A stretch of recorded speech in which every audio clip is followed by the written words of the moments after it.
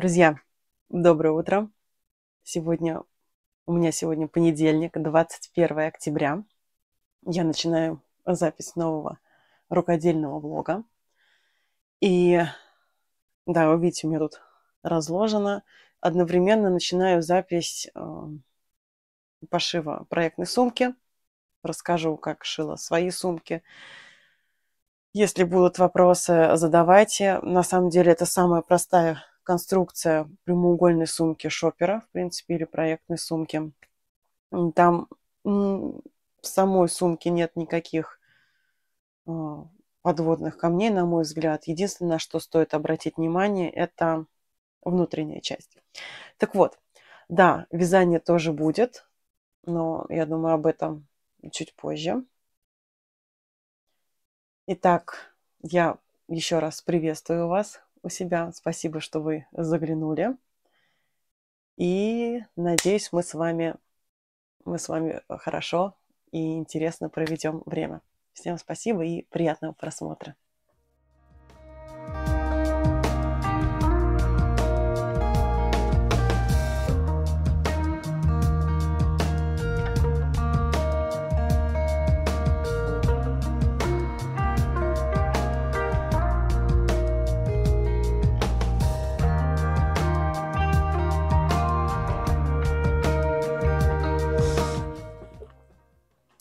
Всем привет! Так, я сначала покажу свои проектные сумки, потом немножко расскажу, из чего я их шила, а, покажу их вот так круп, смысле не крупно, а вот сейчас как идет а, идет видео. И дальше я переключусь на формат руками в кадре, попытаюсь объяснить э, конструкцию. На самом деле, кому, конечно, интересно, это без проблем можно найти в интернете конструкцию самой обыкновенной а, сумки прямоугольной а, из единого куска ткани. То есть а, все у меня сумки сшиты немножко по-разному, но в итоге я их сшивала по принципу сумки из одного цельного куска ткани. Итак, у меня здесь, давайте начнем вот с этой. Это была моя первая сумка проектная. Она как раз осенняя. Сшита она из, э, из байки. Ну, не такой, не детская, она немножко поплотнее. Значит, сверху у меня байка, внутри у меня... Как же она называется? Знаете, на самом деле это, если я не ошибаюсь, советские простыни. У меня очень много ткани вот такой плотной. Она чем-то похожа ну, нет, это не двунитка. Но она, она очень плотная и в то же время достаточно мягкая. По ней вышивать очень хорошо, кстати. Здесь я ее использовала, да, и для подкладки, и для кармашков, и для, в итоге, для завязок. То есть тут сверху мешочек. Сразу, извините, сразу оговорюсь, у меня неправильно сделаны завязки. Не знаю, почему я перепутала, но Давайте покажу. То есть это сумка, это верхний мешочек, который затягивает нашу сумку. Так вот, отверстия вот для нашего шнурочка, они должны быть э, спереди, да? Не внутри, а снаружи. Так вот, они у меня внутри. Ну, я уже не стала переделать. Обычно я просто вот так вот загибаю.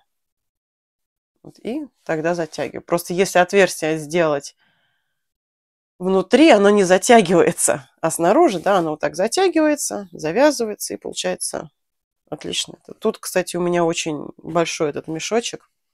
Я размахала слишком сильно. Эта сумка ничем не укреплена, у нее мягкое дно. Ну, в принципе, оно и не нужно. На одной сумке я э, сделала укрепление, оно особо не нужно. Так, теперь следующая сумка выглядит точно так же. По размеру она э, чуть-чуть поменьше и высокая. Повыше она немножко идет. Так, вот эту сумку у меня была самая, самый большой кусок ткани вот на эту сумку был, поэтому она никак не собиралась, она вырезался кусок прямоугольник, и я сшивала, а потом отрезала лишнее. Так, на ней как раз, наверное, покажу. Так, здесь тоже также на завязках Также оно затягивается. Здесь я вставляла не шнурок, а атласную ленту. Тоже очень здорово смотрится. И для подкладки использована та же белая ткань.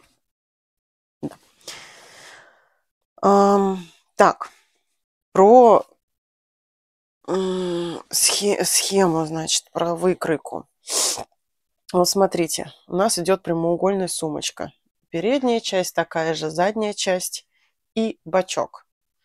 Шов идет сбоку по одной стороне и по другой стороне. То есть сначала, если мы шьем из цельного куска ткани, мы сшиваем боковые швы, потом мы определяем, какой ширины у нас будет, собственно, этот бок. Если мы сразу этого еще не сделали, а делаем на глаз, и какой ширины у нас будет дно, складываем этот треугольничек, вот, вот прошиваем шов, от треугольничек лишний отрезаем, и все. На этом как бы сумка готова. По такому же принципу шьется подкладка. С единственной разницей, что у подкладки у нас у проектной сумки желательно кармашки какие-то делать так. Но это, об этом потом. И именно так вот эта была сумка сшита. Так, да, я не сказала, она сшита из плотной ткани. Это двухнитка, практически рогожка. Мне ее по-моему, сестра отдала, думала платье сшить, но мы поняли, что платье из нее не подойдет. Это ткань больше подходит для, ну, для домашнего текстиля. Я бы не сказала, что для мебели, хотя из нее можно чехольчики, накидушки делать можно. Она больше для домашнего текстиля, для занавесочек подойдет, может быть, для подушечек. Да, вот так вот. Для покрывала можно ее использовать, в том числе и для сумок. Почему не для рюкзаков? Единственное, что она тяжеловата. Это, конечно, не, не рогожка, но тоже может тяжеловато быть. Это стопроцентный хлопок. Это тоже стопроцентный хлопок. И вот эта сумка тоже у меня из хлопка. Что было, то и использовала. Так, и вот эта третья сумочка. Она уже тут немножко позамороченней. Сделана она из двух кусочков ткани. Я специально отрезала вот этот вот хлопок цветной по размеру рапорта и подбирала ткань. У меня было несколько вариантов новогодней ткани. Именно вот эта мне подошла, другая ткань мне не хватало по размеру. Так, это у нас, кстати, американский хлопок из запасов, насколько я помню. Он очень плотный. Кто шил из американского хлопка, знает, что он очень плотный идет, он для пэтчворка шикарно подходит, потому что не расползается, не лезет. Можно малюсенькие-малюсенькие швы делать, все прекрасно смотрится. Здесь та же была система. То есть я сделала замеры примерные. Исходя из того, сколько у меня было ткани, я быстренько накидала размеры сумки, передней части, боковой части – сколько у меня будет, соответственно, дно. Сшила две детали вместе, потом также боковые швы и вот этот вот шов, боковой шов дна, так скажем. Так, что, может быть, показать на, у одной сумки, вот самое простое. Внутреннюю часть, да, она у меня, по-моему, сейчас единственная не занятая.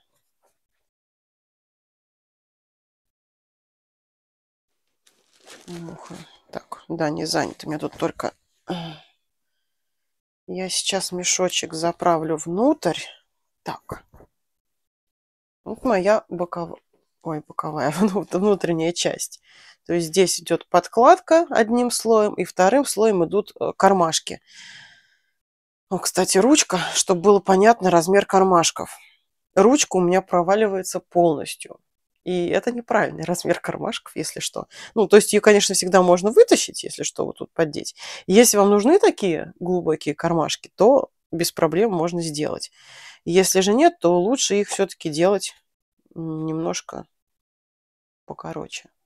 Не такие, не такие высокие. В других сумках, да, я уже не такие высокие делала, потому что крючки обычно проваливаются просто вот очень глубоко. Их вытащить можно, но как-то не очень удобно. Ну, тут на ваше усмотрение. Да, если, конечно, глубоко крючок убран, то он точно не, не выскочит. С другой стороны, вы всегда затягиваете, носите сумку там на плече, в руках. Ну, если ей вот так вот не крутить в воздухе, то ничего не выпадет. Да, кармашки делаем разные, да, какие-то совсем узкие для крючочка, для ручки для карандаша. Делаю их несколько. Вот у меня здесь, здесь с этой стороны два, с этой стороны один. Есть еще кармашки с боковой, на боковой части. Да, я, кстати, подкладку пришивала. Я сейчас посмотрю. Я сначала сшивала бока, потом пришивала кармашки. Потому что, как видите, вот у меня боковой шов подкладки и вот кармашек. Они не соединены здесь в боковом шве. Но есть у меня сумка, где кармашек прострочен по боку. А, обязательно у меня один карман вот такой широкий, ну, вот так, чтобы могла влезть тетрадка. Ладно, тетрадка у меня где-то там, здесь у меня скетчбук, он немножко поуже, но он, давайте так, а, тетрадка на кольцах для записи, она примерно шириной, как вот у меня длина этого скетчбука. Вот он влазит, да, то есть вы измеряете и смотрите, чтобы оно у вас хорошо все залазило. Вот эти кармашки, которые где-то в два раза уже, и вот здесь у меня тоже такие же, да, посередине, и вот тут кармашки, они отлично подойдут для спиц. Можно просто спицы положить, я имею в виду круговые, скорее всего, конечно. Либо в чехольчиках. Я сейчас, я сейчас не знаю, у меня есть, нет. У меня, наверное, чехольчика с собой нет, чтобы показать. Чехольчиков нет. Ну, допустим, вот у нас чехольчик. Мои карандаши акварельные. Чехольчик сюда помещается. Сюда помещается пенал по ширине. Та-дам! Да. Есть носочные. Носочные, кстати, в упаковочке в своей тоже э, трио. Отлично сюда поместится. И провалится. Так, это сюда. Тоже сюда. Да, у меня мой скетчбук. Я тут занимаюсь на досуге художеством. Um, да, хочу поизучать акварель. Ну, на самом деле я никогда рисовать не умела, но мне очень хочется, потому что акварель может акварелью заниматься даже начинающим. Мне не нужны супер картины. Мне надо хотя бы понять, как наносить краски, чтобы свет, тень была. Ладно, но об этом позже. Итак, я переключусь, наверное, в формат руки в кадре. И возьму тетрадочку, чтобы нарисовать схему. Примерно попробую объяснить либо на ткани, либо на бумажках, как можно по-разному соединять э, детали, если у вас э, слишком узкая ткань или, например, квадратная, прямоугольная. Прямоугольная, широкая, конечно, если у вас много ткани, никаких проблем. Вы просто вырезали кусок прямоугольника и его шьете.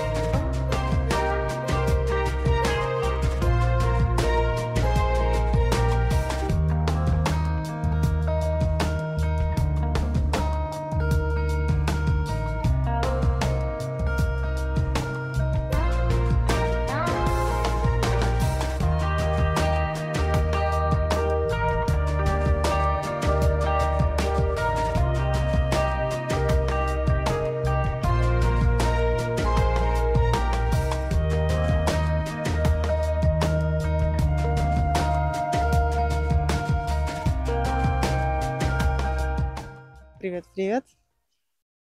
Сегодня понедельник, 28 ноября. Я задерживаю свой влог, к сожалению. О, листики полетели. Я так ждала долго, что они полетят, хотела заснять. Ну ладно.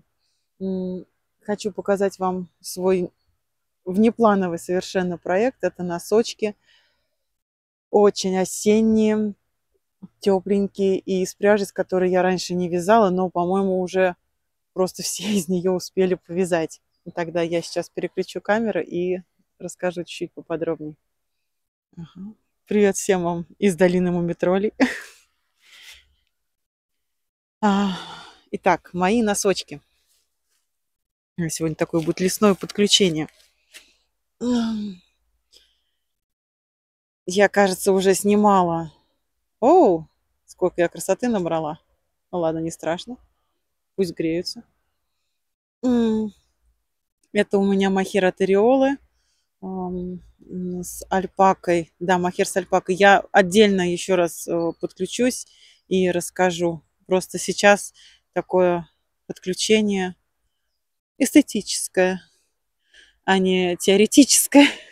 Уж больно красиво, ну, как мне кажется. В общем, это артисан от Элизе. Это не новый цвет, этот цвет уже давно был. Просто я раньше никогда не вязала из такой тонкой пряжи. Честно, мне было страшно. Я знаю, все вяжут так спокойно, но а, я когда ее взяла в руки, я думаю, боже мой, это надо на единичках вязать. Какой 2, какой 2,25? А, итог. Я подмешала вот этот вот махерчик. Он 450 метров в 50 граммах. И я вяжу на спицах 2,5. Это ну, китайские спицы трио. Мне они очень нравятся. Вот эта пряжа, она достаточно яркая. Я тогда отдельно, да, я сказала, расскажу про цвет. Этот цвет щербет называется. Он прям идеально подошел. Он сгладил ее. И я не стала ничего выдумывать. Я сделала обычные носочки резинкой. Так, по факту, вот теперь, когда я их связала и померила, лучше бы я делала просто гладью. То есть резинку наверху и гладью. Ну, мне не очень в итоге резинка нравится, но пусть будет так. Пяточка это стронг или треугольная пятка, да, насколько я знаю, ее называют. Закрытие ленточное. Пяточка у меня получилась такая скошенная немножко. Не пяточка, а мысочек скошенный, потому что мне нужно было в определенном месте рисунка закончить, чтобы ничего не отматывать. Поэтому вместо того, чтобы еще рядочек и чуть-чуть скруглить мысок, я резко закончила, закрыла, но оно все равно отлично смотрится на ноге. Ну, смотрите, по-моему, очень здорово скрадывает цвета, очень классно подходит махер. Они стали, попуш... Они стали такие пушистые, пушистые, тепленькие и достаточно тоненькие. Ну и мне, у меня мой а, ужас перед тонкой пряжей, в принципе, прошел. У меня еще есть несколько цветов артисана. Я все-таки решила, да, заказать, попробовать. И, да, тоже буду смешивать с махером. На заднем плане моя новая проектная сумка,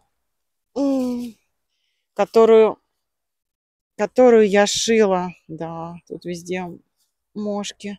Которую я шила. Я снимала, как я ее шила, всю эту сумку. Очень быстро, в течение а, утра, перед тем, как обратно ехать в школу. И, честно скажу, видео эти не получились. Они слишком темные. Я неправильно выбрала подкладку. То есть для этой сумки подкладка замечательная, она прекрасно сочетается, но, к сожалению, на столе эту подкладку не видно, она сливается со столешницей.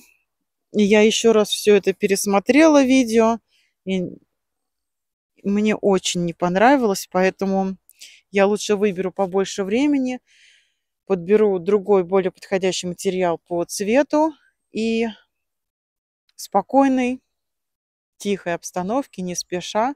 Еще раз все это запишу и тогда выложу, как я все-таки шью эти проектные сумочки. Ну, пока в кадре все еще мои носочки. Я уже набрала петельки на второй. Это я вчера связала, набрала на второй петельки. Как ни странно, очень быстро получилось.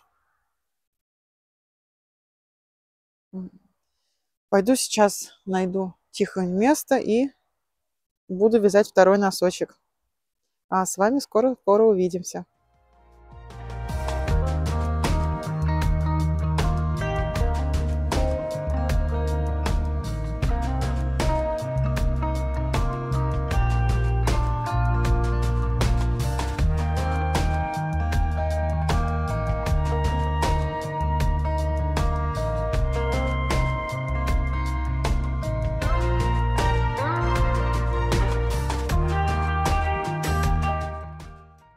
Как я и говорила ранее, показываю вам чуть ближе свой проект с носочками.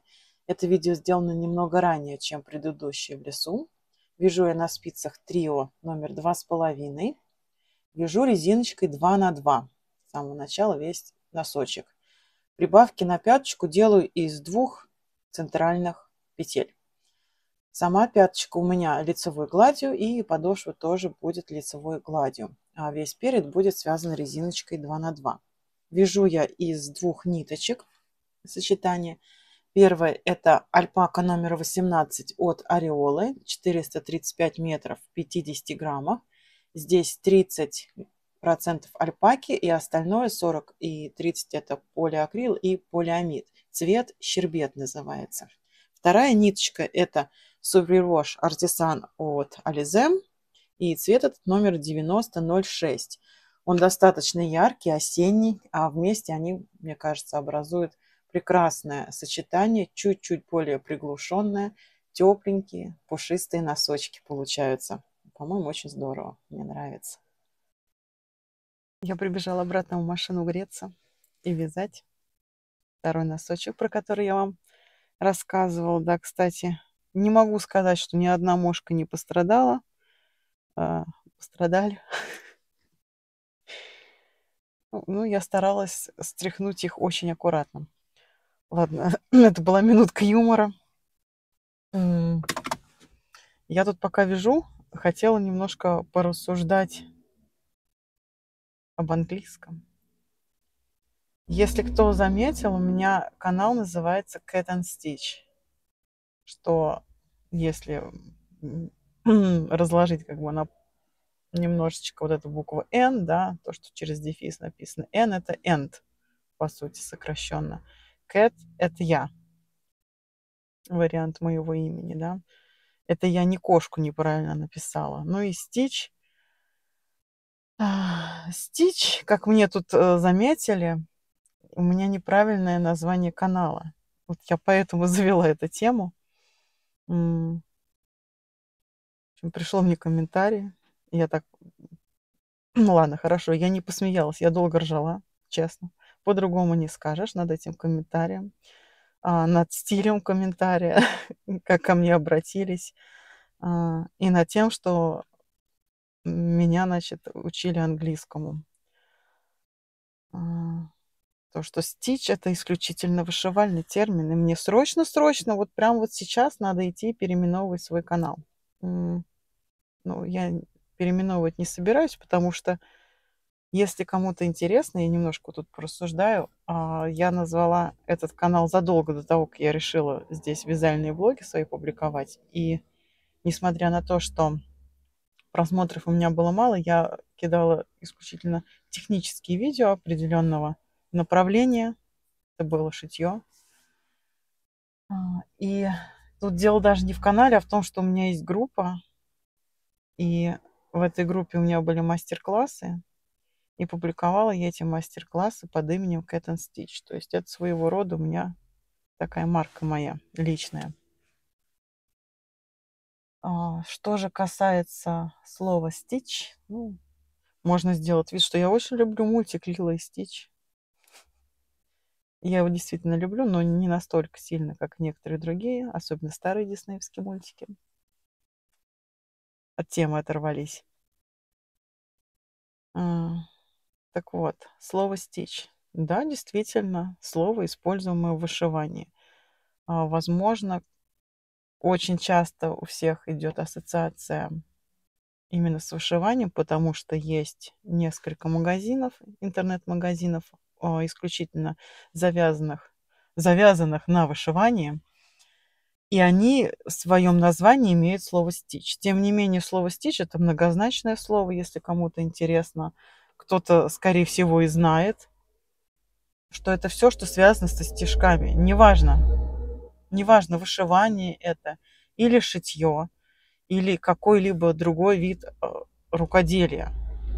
Везде, где есть стежок как таковой, применимо слово стич и даже в вязании. Если посмотреть англоязычное описание, да, мы можем там встретить обозначение knit and pearl, что значит лицевая и изнаночная петля. Тем не менее, обозначение есть и в вязании крючком, и в вязании спицами, которое заканчивается на буковку «С», что означает или «СТ» – это стич, это стежок, это петля. Поэтому, да, название изначально было Cat and Stitch, потому что Катя и стежок. Ну, если уж так переводить. Хотя мне просто нравится звучание этой фразы. Знаете, как Макдональдс это звучит. Изменяюсь за рекламу, это не реклама. Это звучит. И, ой, я забыла, как звали этого мужчину. Был даже фильм про него. Он, собственно, купил не сам этот ресторан, он купил название ресторана. Макдональдс, да, мы про них говорим, потому что это звучит. Вот и мне понравилось, как это звучит. Cat and Stitch, по-моему, очень даже здорово. Лично мне нравится, и это прекрасно. А, и да, несмотря на то, что тема в основном у меня вязальная, оно так и останется таким. И пусть у кого-то дергается глаз, на вышивание. Но я тоже, кстати, вышиваю. В основном крестиком. Сейчас редко этим занимаюсь. Если будет кому-то интересно, я попробую найти свои работы вышивальные, показать. И если кому-то будет интересно, ну, возможно, я сделаю отдельный влог или отдельное видео сниму именно о том, почему, откуда взялось это Cat Stitch и чем я, собственно, занималась когда это название у меня родилось. Вот я с вами болтаю, а между прочим, ни одного, ничего, ничего, ничего не связала. А, что-то еще хотела про стич сказать. Да, да, да, да, да, есть такое понятие именно применимо стич в вязании, особенно если вяжете иглой. Если, не знаю, есть здесь, есть ли люди здесь, кто смотрит мое видео, кто занимался или интересовался исторической реконструкцией, вязанием, первое вязание, оно было не спицами, не крючком, это вязание иглой. Если особенно мы обратимся к скандинавским странам, да, к северу а, России, нынешней там Карелии, но особенно в скандинавских странах вязание крючком. Получаются очень красивые петельки, круглые, э, в самом простом стежке. И выглядят они как рыбья чешуя. Они такие раз, раз, раз, раз, одна на одной. Чем они хороши? А, ими очень здорово пятки штопать. Они не распускаются. Да, они, это и плюс, и минус. Их не, это невозможно распустить, это вязание. То есть он, каждую петельку нужно вы, вытаскивать. Если, да, в спицах мы все знаем, раз все петлики сняла, на каждой может распуститься. В крючке это одна петелька, которая всегда распускается. В вязании иглой это одна петелька, которая всегда затягивается. Надо будет как-нибудь, наверное, коснуться отдельно этой темы. У меня, у меня, если ошибаюсь, сохранился до одного костюма носочки и рукавички, связанные иглой. Не на реальный размер, а на кукольный размер. Так что дайте знать в комментариях, если интересно, я сделаю отдельное тогда подключение и покажу.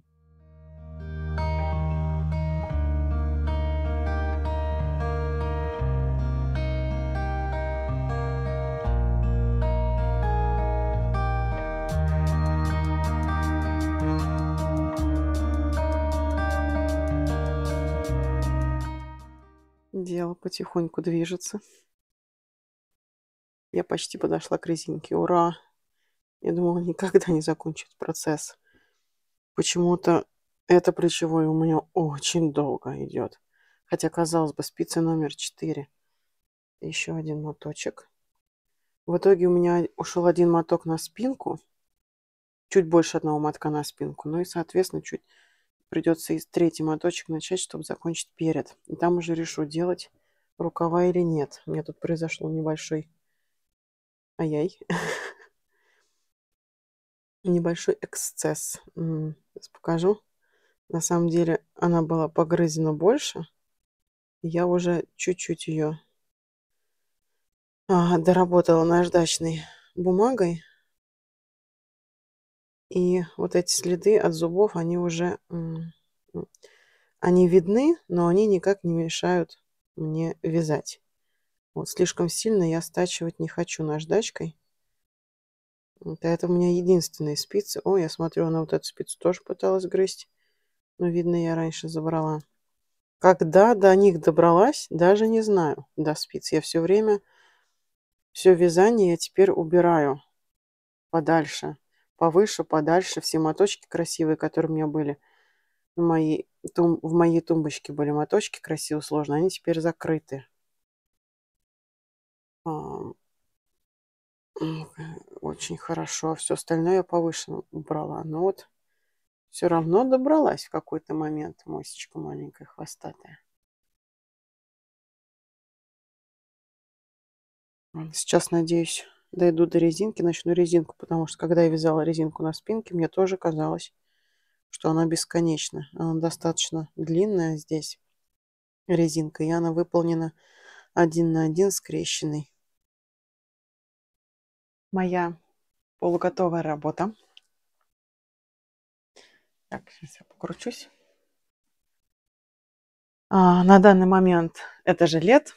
И я в раздумьях, а, вязать ли рукава или просто делать обвязку горловины и пройм и оставить это жилетом. Я ношу и жилеты, и свитера. Но тут у меня больше вопрос, носить ли это под пуховик в который рукава свитеров не влазят, у пуховика очень узкие рукава. Или же носить под куртку или под парку. Да. Немножко информации. Значит, это я вязала из двух ниточек. А, махер от ореолы плюс основная нить а, шотландский твит.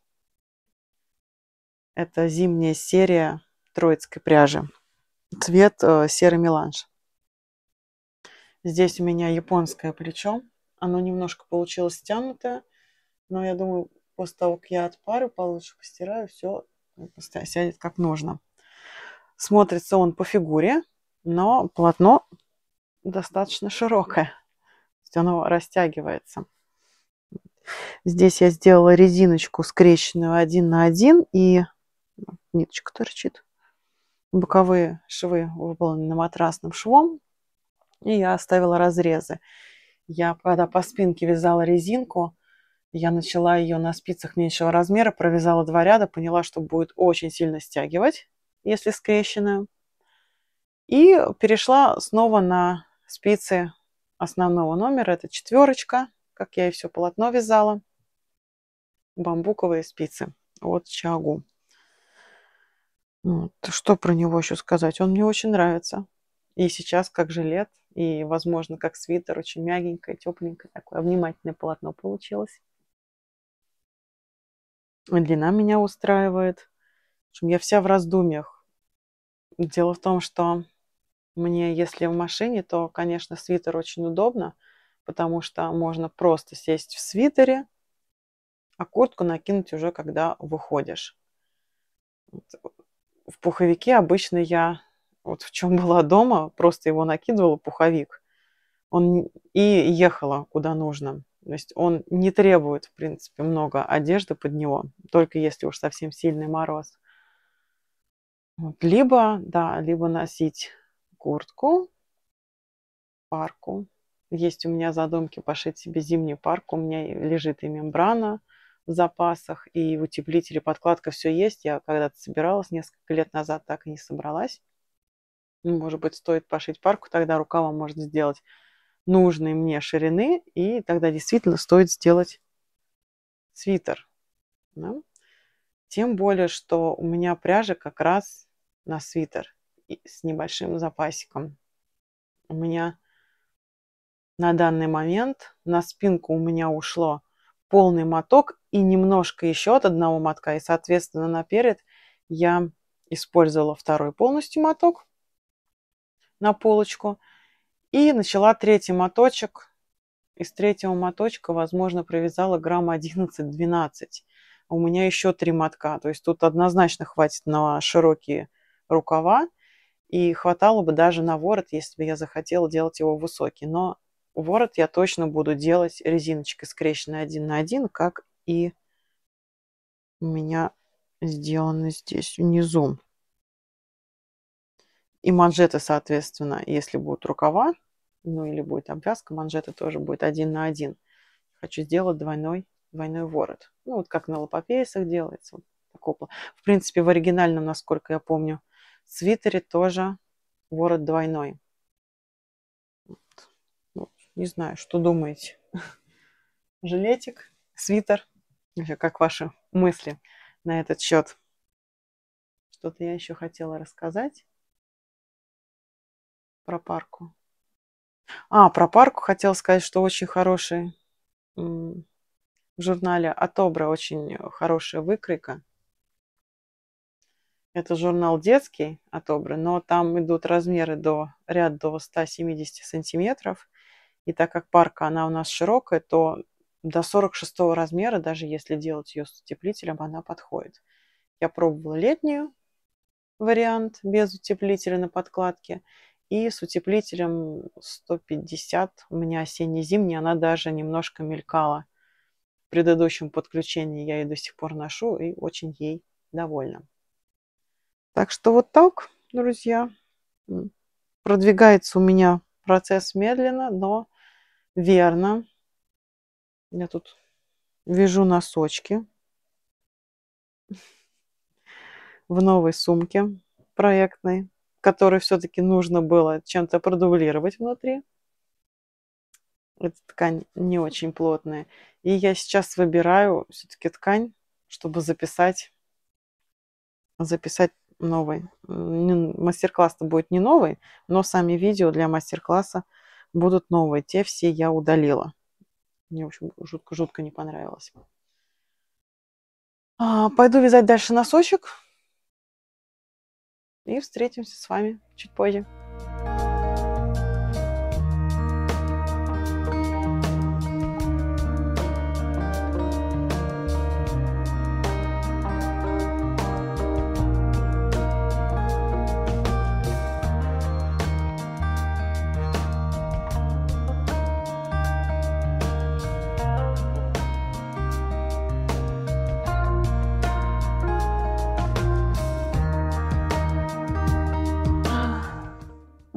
Всем еще раз привет.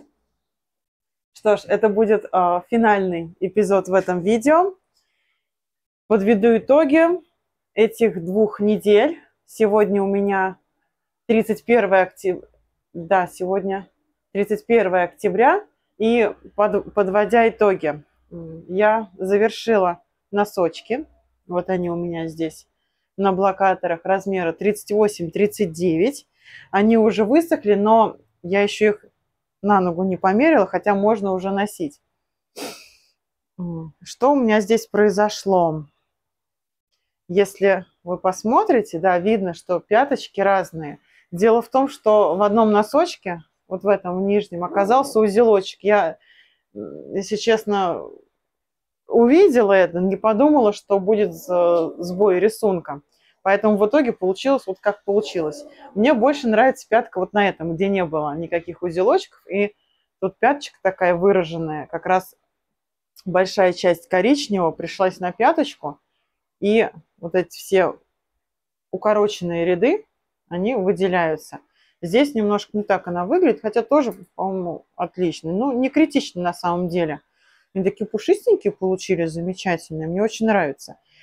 Мне так понравилось вязать из этой пряжи, из артисана, не, конкретно не из артисана, а из артисана с махером. Очень понравилось, поэтому я сейчас достану.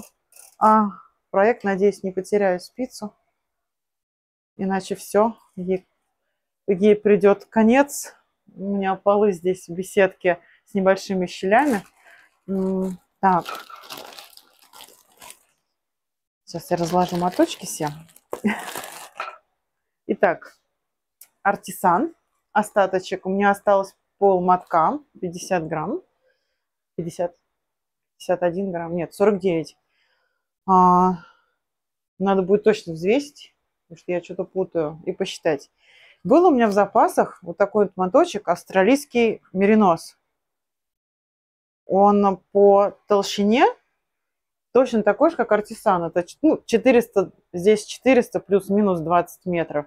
Считаем, что тоже считает 425. 420 метров в 100 граммах. И очень здорово сочетается именно вот с этой расцветкой артисана. Плюс я, естественно, добавляю опять махер. И вязать я стала, у меня вот здесь уже начатые моточки, это новое. У меня здесь уже все начато, покажу этот носочек. Вот так он выглядит. Здесь я резиночку сделал 2 на 2, 20 рядов всего и стала уже вязать просто гладью. Я говорила, да, что вот в этих носочках я разочаровалась в резинке на все носки. И поэтому решила больше так не делать. По крайней мере, вот в данном варианте сочетания пряжи.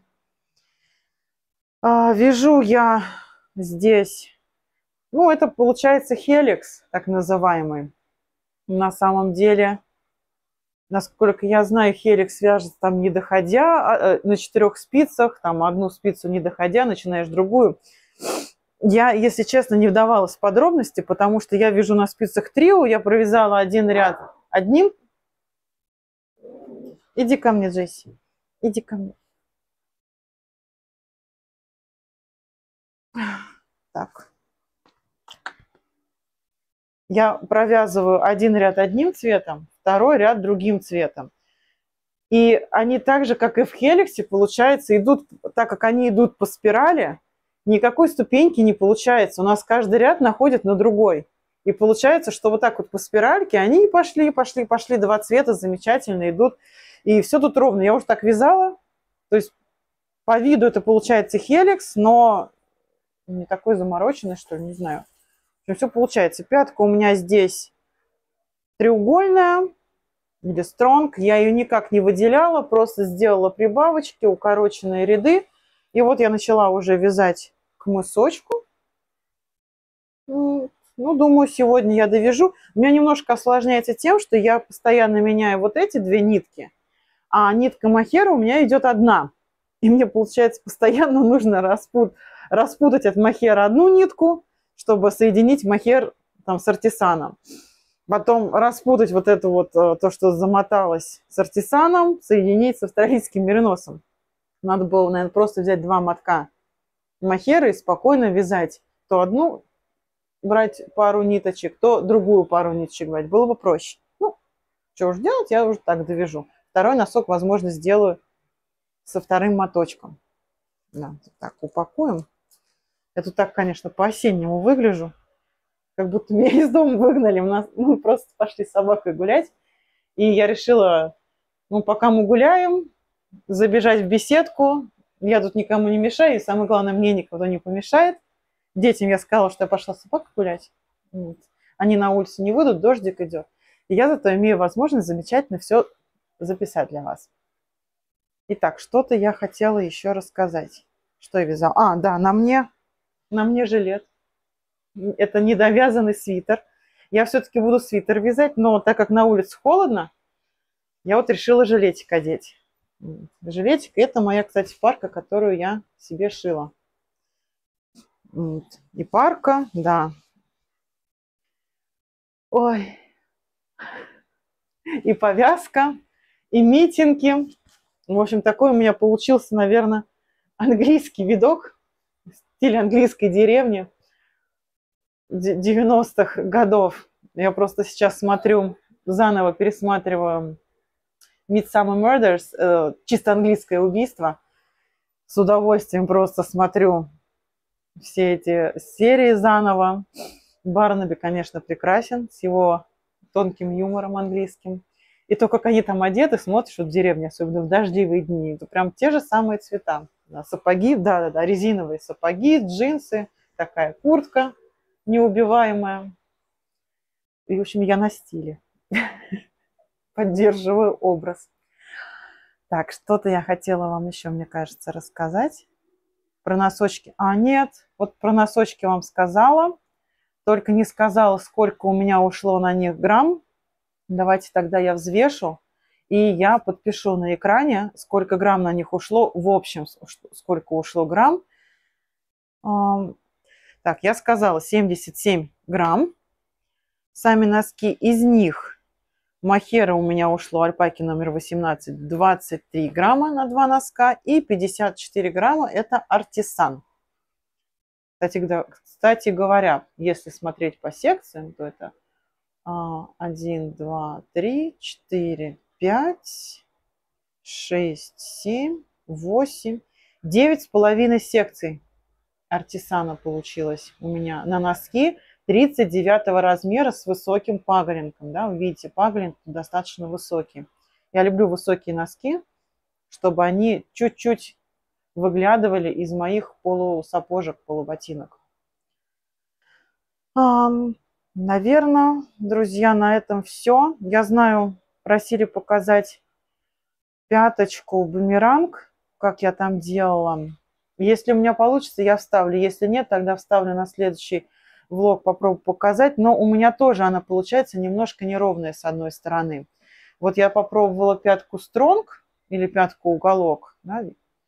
Поправьте меня, если, ошиб... если я ошибаюсь, но я так поняла, что это одна и та же пятка. Она одинаково вяжется. Ты умная, премудрая собака. Ты куда побежала?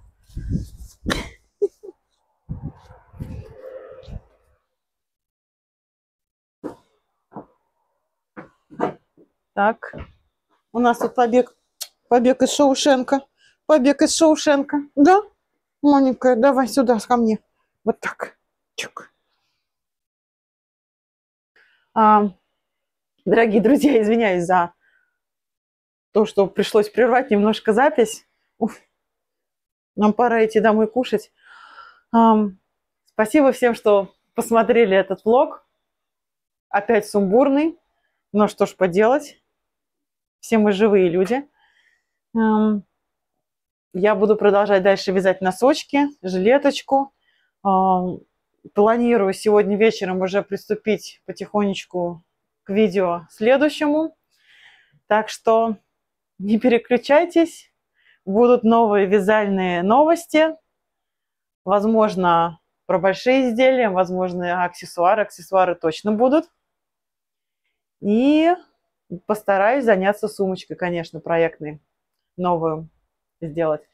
А сейчас всем пока-пока. Спасибо, что были со мной и до скорых встреч.